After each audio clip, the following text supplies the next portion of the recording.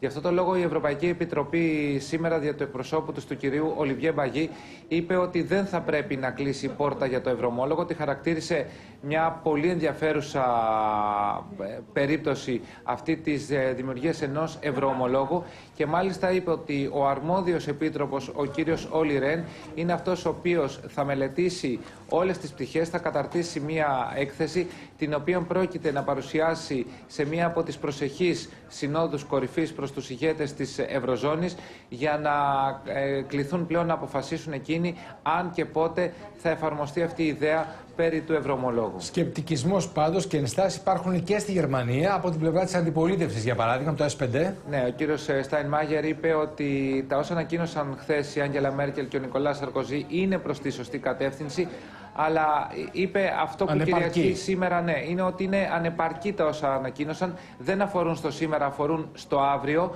Ε, τόνισε ωστόσο ότι αυτό που έκανε ουσιαστικά η Γερμανίδα Καγκελάριος ήταν να ικανοποιήσει τις απαιτήσεις ε, του μικρού εταίρου της στο κόμμα, τον, ε, στον κυβερνητικό συνασπισμό των φιλελευθέρων δημοκρατών. Μάλιστα, να δούμε τι εκτιμήσει διατυπώνεται και στην Αυστρία, μια χώρα που παραδοσιακά είναι στο πλευρό της Γερμανίας, έτσι δεν είναι; Έτσι είναι και ουσιαστικά οι Αυστριακοί και οι Ολλανδοί βρίσκονται μόνιμα σε κοινή γραμμή πλεύσης με το Βερολίνο. Ε, υπάρχουν ωστόσο αμφιβολίες και εκεί από την ε, Αυστριακή Υπουργό Οικονομικών γύρω από τα αποτελέσματα αυτής της ε, συνόδου ανάμεσα στην Γαλλία και στη Γερμανία. Ε, ε, η Αυστριακή Υπουργός ε, οικονομικών είπε και εκείνη ότι περίμεναν περισσότερα οι αγορές και αυτά δεν δόθηκαν με τη χθεσινή συνέντευξη τύπου. Σκεπτικισμός υπάρχει και από τα γερμανικά μέσα ενημέρωσης. Ναι, ακριβώς. Όλοι κινούνται σήμερα στο ίδιο μήκος κύματος. Και αυτό γιατί ε, αποτυπώθηκαν οι πρώτες αντιδράσεις χθες, αμέσως μετά την ολοκλήρωση της ε, συνάντησης ανάμεσα στην Άγγελα Μέρκελ και τον Νικολά Σαρκοζή. Περίμεναν κάτι πιο άμεσο, κάτι πιο χαρακτηριστικό και τα γερμανικά μέσα ενημέρωσης ασκούν τριμία κριτική γιατί δεν αποφασίζει πλέον το Βερολίνο να ανοίξει τα χαρτιά του και να πει τι επιτέλους επιδιώκει μέσα από την Ευρωπαϊκή Ένωση. Λοιπόν, ο κύριος Μπαρόζο από την άλλη πλευρά ε, χαρακτήρισε βήμα προόδου αυτό το οποίο συνέβη. Είχαμε χμές όπως βλέπουμε και από τα γαλλικά μέσα ενημέρωσης. Και από τα γαλλικά μέσα ενημέρωσης. Ε, Βεβαίως, ε, εκεί τα πειρά στρέφονται προς τον Νικολά Σαρκοζή, θεωρώντας ότι ε, ουσιαστικά ε, άγεται και φέρεται σύμφωνα με τις ε, βουλές της ε, Γερμανίδας Καγκελαρίου. Δεν ε, θεωρεί, ότι, θεωρεί ο γαλλικός τύπος ότι η Γαλλία δεν ασκεί πλέον τη δική της πολιτική. Ε, γι' αυτό το λόγο αποφάσισε και ο Γάλλος Πρόεδρος να εναρμονίσει το φορολογικό του συντελεστή με, με αυτόν της ε, Γερμανίας. Ε, και το χαρακτηριστικό είναι ότι σύμφωνα με, τα, με τους αναλυτές, τους Γάλλους αναλυτές στις περισσότερες γαλλικές εφημερίδες θεωρούν ότι ε, η Γαλλία δεν ε, αποτελεί μια ηγέτιδα δύναμη στην Ευρωζώνη, απλά ακολουθεί τα όσα ε, προτείνει ε, ή θέλει να επιβάλλει τέλος πάντων το Βερολίνο. Πάντως, όπως βλέπουμε και στον τίτλο, στην Ιταλία και την Ισπανία υπάρχει ακόμα ελπίδα για το ευρώ ομόλογο.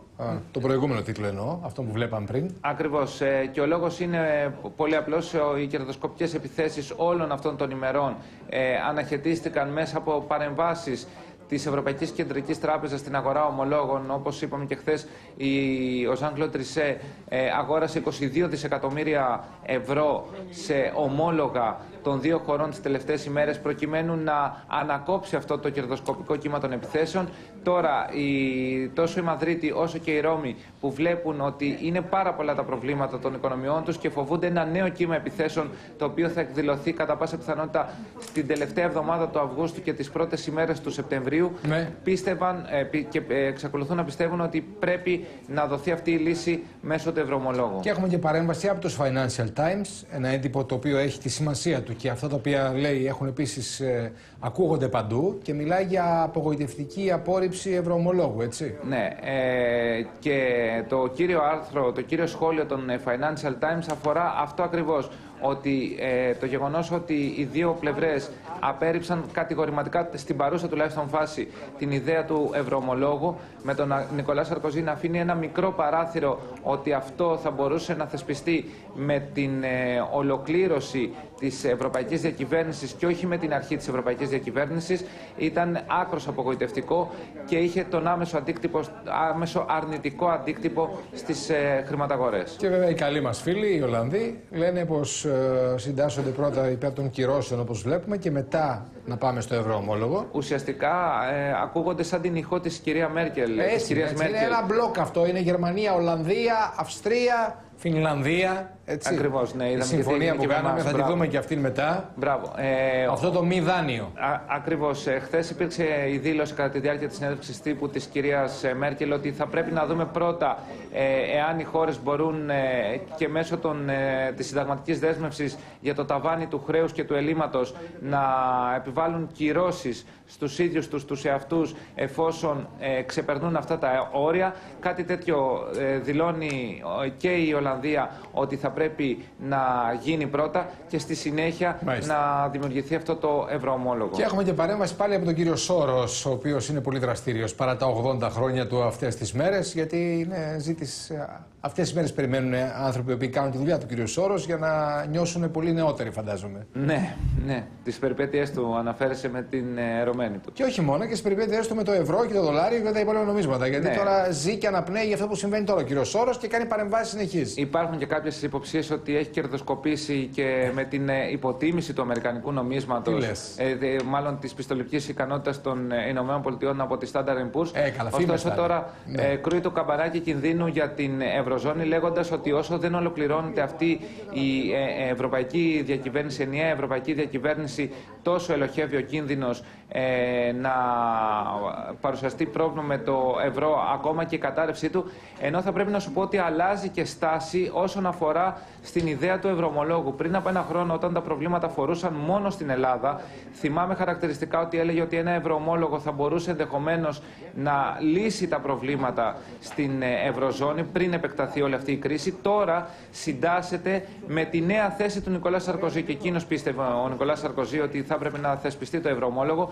Ε, λέει σήμερα ο Τζορτ Σόρος αυτά ακριβώς που είπε και ο Νικολάς Σαρκοζή, ότι με την ολοκλήρωση μετά το πέρας της οικονομικής διακυβέρνησης θα πρέπει να δημιουργηθεί αυτό το ευρωομόλογο. Μάλιστα.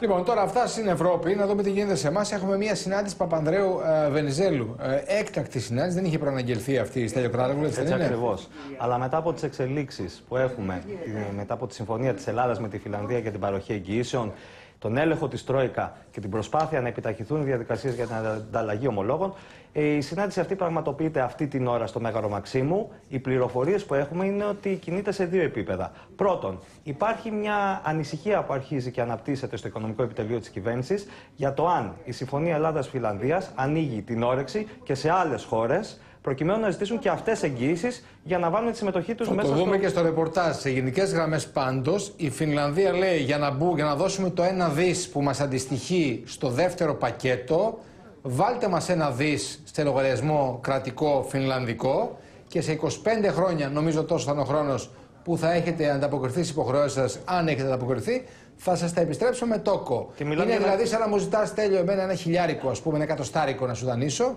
και να σου πω εγώ πολύ ευχαρίστω, δώσ' μου ένα εκατοστάρικο να το βάλω στην τσέπη μου, να το έχω ως εγγύηση και αμέσως μετά θα σου δανείσω ένα εκατοστάρικο. Ουσιαστικά ποντάρουμε ότι εσύ έχεις καλύτερη πιστοληπτική ικανότητα υπό μένα. Εγώ όμως, από αν μένα. βγω στην αγορά, ναι, θα Ακριβώς. δανειστώ με καλύτερους Αυτό. όρους από σένα. Έτσι. Το θέμα είναι τι θα γίνει άμα το ζητήσουν και άλλες χώρες και βλέπουμε εδώ Αυστρία, Ολλανδία, Σλοβακία. Ακριβώς. Ενδεχομένως μπαίνουν και αυτές στην ουρά. Όπως είπες πολύ σωστά και εσύ και ο Γιώργος Αϊβαλιώτης, οι χώρες που παίρνουν γραμμή από τη Γερμανία, όπως είναι η Ολλανδία και η Φιλανδία, φαίνεται ότι συντάσσονται με τη γραμμή Μέρκελ.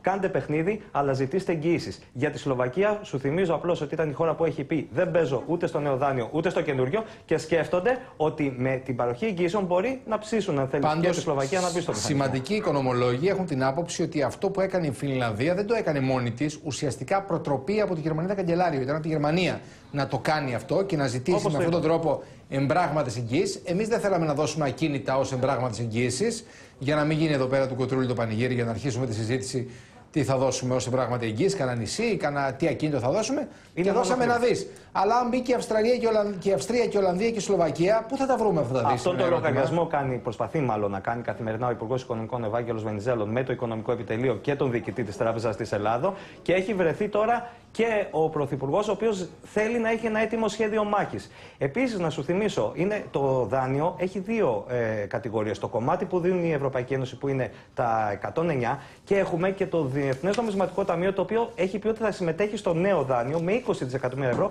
αν και το ξανασκέφτεται. Το ναι. Διοικητικό Συμβούλιο δεν το έχει αποφασίσει ακόμα και πολλοί λένε να μειωθεί η συμμετοχή του, να πέσει στα 6 έως 8 δισεκατομμύρια ευρώ. Για ένα ποσό που έχει υπολογιστεί και δεν θέλουμε ούτε δει λιγότερο. Δηλαδή, τσίμα τσίμα μας βιάζει για τα επόμενα χρόνια. Θα καθορίσει το χρέος μας και το χρέος θα καθορίζει τι αποκρατικοποίηση θα Μάλιστα. κάνουμε. Αλλάζει όλος ο λογαριασμό. Πάμε να δούμε το ρεπορτάζ για το θέμα αυτό, γιατί έχει πολύ πολύ ενδιαφέρον για αυτό το δάνειο, έτσι, αλλά φιλανδικά. Κέρδη και απώλειες μετράει η ελληνική κυβέρνηση μετά από την απόφαση της Γαλλίας και της Γερμανίας να χαράξουν μεν κοινή πορεία για την αντιμετώπιση της κρίσης, μακριά όμως από τη λύση του ευρωμολόγου. Θετικό βήμα θεωρείται η δέσμευση Μέρκελ και Σαρκοζή για υλοποίηση των αποφάσεων της 21η Ιουλίου, που αποτελεί προτεραιότητα για την ελληνική πλευρά. Στα αρνητικά σημεία περιλαμβάνει η απόφαση για κοινή οικονομική διακυβέρνηση που αναγκάζει τη χώρα μας στην υιοθέτηση εντός του έτους συνταγματικού κανόνα για τον περιορισμό του ελλείμματος. Η συνταγματική κατοχήρωση του δημοσιονομικού κανόνα ούτως ή άλλως κατά αποτέλεσμα υφίσταται ήδη, καθώς σύμφωνα με το άρθρο 28 του Ελληνικού Συντάγματος, οι σχετικοί κανόνες του πρωτογενούς ευρωπαϊκού δικαίου υπερισχύουν της εθνικής νομοθεσίας. Άλλωστε, όλο το ελληνικό πρόγραμμα προσαρμογής σε αυτό στοχεύει, στην αποκατάσταση της δημοσιονομικής ισορροπίας της χώρας μας στο πλαίσιο της Ευρωζώνης. Σε κάθε περίπτωση, το ενδεχόμενο έκδοση ευρωμολόγου, βασική επιδίωξη της ελληνικής πλευράς, μπαίνει στο σιρτάρι παρά τις θετικές εισηγήσεις ακόμα και στο εσωτερικό της Γερμανίας. Οι δύο ηγέτες ξεκαθάρισαν ότι όσο υπάρχουν ανεξέλεκτα ελλείμματα και χρέη στην Ευρωζώνη, δεν μπορεί να γίνεται λόγος για ευρωμόλογο. Οι Γερμανοί απαιτούν δημοσιονομική πειθαρχία στα όρια της ασφυξίας, με τους αναλυτές να προβλέπουν ότι με ένα νέο σκληρό πρόγραμμα μέτρων η Ελλάδα θα παραμείνει τουλάχιστον για μια δεκαπενταετία σε τούνελ λιτότητας. Στη σκιά τη συνάντηση Σαρκοζή Μέρκελ, η Ελλάδα έδωσε τελικά εγγύηση στη Φιλανδία προκειμένου να ξεμπλοκάρει το δεύτερο πακέτο στήριξης, αφού οι Φιλανδοί το είχαν θέσει ως αναγκαίο όρο για να ανάψουν το πράσινο φως στη συμφωνία της 21η Ιουλίου. Οι εγγύησεις αυτές θα λάβουν τη μορφή κατάθεσης στο ύψος της συμμετοχής των Φιλανδών στο νέο δάνειο. Θα επενδυθούν σε ομόλογα αξιολόγησης ΑΑΑ και θα επιστραφούν στην Ελλάδα εντόκως όταν αποπληρωθεί το νέο δάνειο που θα λάβει η χώρα μας. Συμφωνήσαμε με την Ελλάδα για τις εγγύσει που ζητούσαμε για τη συμμετοχή μας στο νέο πακέτο βοήθειας. Χωρίς τις πρόσθετες εγγύσει, η Φιλανδία δεν θα συμμετείχε στο νέο πακέτο βοήθειας για την Ελλάδα. Με ανακοίνωσή του, Ευάγγελος Βενιζέλος σημείωσε ότι το χρηματοδοτικό σχήμα που συμφωνήθηκε μεταξύ των δύο χωρών δεν έχει κανέναν εμπράγματο χαρακτήρα. Συμπληρώνοντας ότι μετά από αυτή τη συμφωνία, το Φιλανδικό Κοινοβούλιο μπορεί πλέον να αποφασίσει τη συμμετοχή της χώρας στο νέο δάνειο προς την Ελλάδα. Η συμφωνία με τη Φιλανδία είναι εξέλιξη απογοητευτική και ανησυχητική. Είναι απογοητευτική γιατί όταν ζητούνται εγγυήσεις για να δοθεί δάνειο σε χώρα μέλος που έχει ανάγκη και προσπαθεί να ξεπεράσει την κρίση της, αυτό σημαίνει ότι η έννοια της κοινοτικής αλληλεγγύης υποβαθμίζεται ακόμη περισσότερο. Είναι ανησυχητική διότι δημιουργείται προηγούμενο ώστε να ζητήσουν και άλλες χώρες αντίστοιχες εγγυήσεις. Οι χρηματικές εγγυήσεις που δίνει η κυβέρνηση στη Φιλανδία για τη συγκατάθεσή της στο νέο δάνειο της Ευρωπαϊκής Ένωσης και του Διεθνούς Νομισματικού Ταμείου είναι παρονυχίδα μπροστά στα όσα επώδυνα επιπλέον του μνημονίου και του μεσοπρόθεσμου μέτρα θα το συνοδεύουν. Βοήθεια και από την Ολλανδία με τον Υπουργό Οικονομικών Χαν Κις Ντε Γιάγκερ να δηλώνει ότι η Ολλανδική κυβέρνηση θα σχεδιάσει μια λίστα με όλες τις πιθανές λύσεις που θα τεθούν προς συζήτηση, προσθέτοντας ότι σε αυτές θα μπορούσε να περιληφθεί και το ευρωομόλογο. Λοιπόν, στο σημείο αυτό να καλησπέρισω τον κύριο Γιάννη Αμυρίτη, βουλευτή του ΠΑΣΟΚ, τον κύριο Μάριο Σαλμά, βουλευτή της Νέας Δημοκρατίας, τον κύριο Δήμο Κουμπούρη, μέλος της Κεντρικής Επιτροπής του ΚΚΕ και τον κύριο Θανάση Πλεύρη, βουλευτή του Λαϊκού Ορθόδοξου Συναγερμού. Καλησπέρα σε όλους. Σας ευχαριστώ που είστε μαζί μας. Κύριε Αμυρίδη, να ξεκινήσω από αυτό το τελευταίο που ακούσαμε το θέμα της Φινλανδίας και να σας ρωτήσω, έχετε καταλάβει τι ακριβώς συμβαίνει και, μάλλον, και μάλιστα έχετε, έχετε απαντήσει στο ερώτημα τι θα συμβεί για τη χώρα μας αν και άλλες χώρες με τη Φινλανδία απαιτήσουν να δανείσουν τη χώρα μας με τον ίδιο ακριβώς τρόπο; Νομίζω ότι το είπε και ο συνεργάτης ότι το έχουμε ξαναδεί το έργο με τη Σλοβακία. Δηλαδή; Δεν συμμετείχε στο πρώτο μηχανισμό στήριξης. Ναι. Εκτιμώ ότι δεν θα υπάρξει άλλη χώρα. Γιατί αν υπάρξει άλλη χώρα, τότε μπορούμε να συζητάμε πλέον για μια Ευρώπη όπως χθες κάναν αναφορά οι δύο ηγέτες. Ναι. Άρα δεν θα υπάρχει Ευρώπη. Αν ξεκινήσει η Αυστρία, η Ολλανδία ή όλες οι βόρειες χώρες οι οποίες είναι στον άξονα της Γερμανίας, στον οποίο άξονα τώρα μπήκε και η Γαλλία, mm -hmm. εκτιμώ ότι διαχωρίζουμε το βορρά από τον νότο. Μάλιστα. Έτσι, άρα δεν συζητάμε για μια ενωμένη Ευρώπη. ε, εκτιμώ ότι δεν θα γίνει αυτό. Αλλιώς, όπως το εκτιμάτε, το, το, εκτιμάτε το, ελπί, το, το, εκτιμάτε το ελπίζετε. Αν καταλαβαίνω καλά, αυτό που εκφράζεται ελπίδα είναι πιο πολύ. Γιατί άμα λέτε εκτιμώ, ότι... εκτιμώ ότι δεν θα μπουν οι χώρες του Νότου, αλλά μπήκε η Γαλλία, είπατε μόλις τώρα. Γι' αυτό.